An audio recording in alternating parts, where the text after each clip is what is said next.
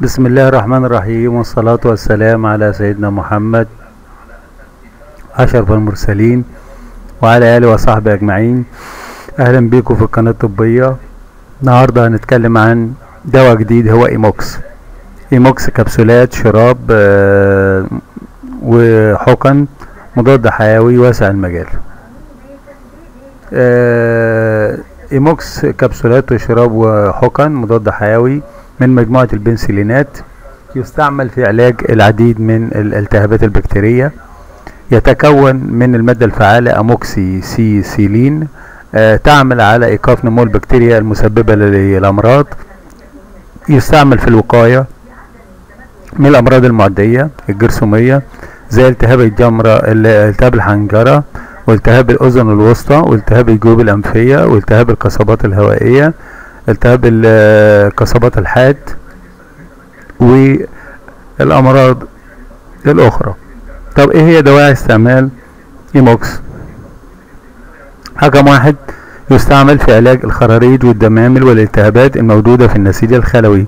رقم اتنين يستعمل في علاج العدوى الناتجة من الجروح وعضات الحيوانات. رقم ثلاثة يستعمل في علاج الالتهابات الموجودة في الأسنان والخراريج آه والعدوى المتواجدة في العظام والمفاصل. رقم أربعة يستعمل في علاج حالات التهابات الأذن الوسطى آه الحاد والتهاب الجيوب الأنفية والتهابات الجلد. رقم أربعة رقم خمسة يستعمل في علاج التهابات القصبات الهوائية والتهابات الحنجرة الحاد والتهابات الرقبة.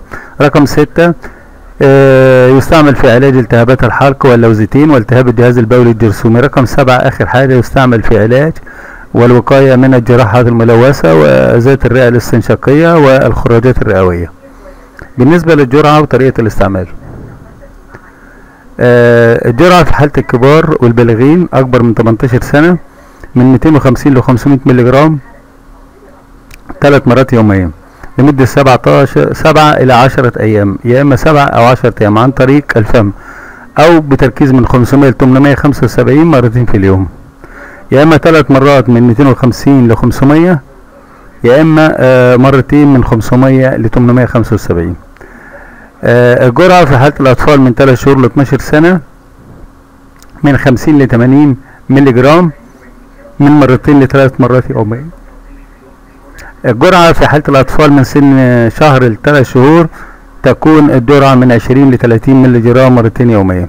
طب إيه الآثار الجانبية لإيموكس؟ رقم واحد آه، يحدث في بعض الأوقات آه، اضطرابات شديدة في المعدة أو طفح جلدي. رقم اتنين يحدث عند بعض المرضى شعور المريض بصعوبة في البلع والتنفس. رقم ثلاثة يشعر بعض المرضى في بعض الأحيان بألم في المفاصل والعضلات وسرعة نب- نبضات القلب. رقم أربعة يحدث في بعض مع بعض المرضى ميل القيء والغثيان والدوخة. رقم خمسة آخر حاجة يحدث عند بعض المرضى انتفاخ أو تورم في الأجفان أو حول العينين والوجه والشفاه واللسان. ودي طبعا أعراض حساسية. آه إيه هي احتياطات وموانع استعمال إيموكس. رقم واحد يمنع استعمال إيموكس للأشخاص اللي عندهم حساسية من مكونات الدواء أو المواد الفعالة. آه، آه، أو اللي عندهم حساسية للبنسلينات والأموكسيسيلين. كل ده آه، كل دول يمنع عليهم تناول إيه؟ إيموكس. رقم اتنين يمنع استعمال الدواء مع المرضى اللي عندهم خلل في وظائف الكلى أو خلل في وظائف الكبد أو أمراض مزمنة توجد في الكلى أو الكبد. آه وطريقة آه، تؤثر على طريقة آه، ونشاط نشاطهم وعملهم نكمل كلامنا عن آه، آه، إيموكس. آه، بالنسبة لتفاعلات إيموكس آه، قبل استعمال الدواء آه، لازم تعرف إن إيموكس آه، أو الأدوية عامة بتتفاعل مع أدوية تانية وده إما بيسبب وجود مشكلات في التفاعلات اللي بتحدث بين الأدوية وبتأثر على المريض وعلى صحته. آه، طبعا بتأثر في الناحية السلبية ما بتأثرش إيجابية أبدا. لذلك لابد من استشارة الطبيب بشكل دائم وإن أنت قبل ما الدكتور يكتب لك إيموكس أو أي مضاد حيوي أو أي دواء تاني تقول له أنا بتناول دواء كذا تاني. آه من ضمن الأدوية اللي بيتفاعل معاها إيموكس مضاد حيوي هو ألوبيورينول. لا ينصح باستعماله مع إيموكس نهائيا لأنه من الممكن أن يحدث طفح جلدي بسبب تفاعل الدواء مع إيموكس. أيضا لا ينصح بتناول إيموكس مع أي نوع من أنواع حبوب منع الحمل أيضا لا ينصح بتناول إيموكس مع أدوية ال- السيوله الأدوية المضادة لتخثر الدم زي الوارفارين لأن استعمالهم مع مع إيموكس بيؤدي لحدوث آه، زيادة السيولة في الدم وبالتالي يحدث نزيف. طيب بالنسبة لسعر إيموكس سعر كبسولات إيموكس 500 هي علبة فيها 2 شريط عبارة عن 16 كبسولة سعرها 16 جنيه ونص مصري. سعر إيموكس آه، 60 ملي آه، زجاجة دواء شرب آه، سعرها 6 جنيه مصري.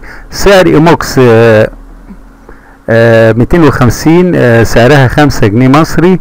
آه، حقن سعر سعر, حقن إيموكس آه، 5 جنيه مصري 250 تركيز 250 في نهاية الفيديو أرجو إن أنتوا تكونوا قد استفدتم وأرجو إن أنتوا تشتركوا معنا في القناة وتضغط like لأن الحاجات دي بتدعم القناة وبتخلي ال rank بتاعها عالي. شكرا ليكم والسلام عليكم ورحمة الله وبركاته.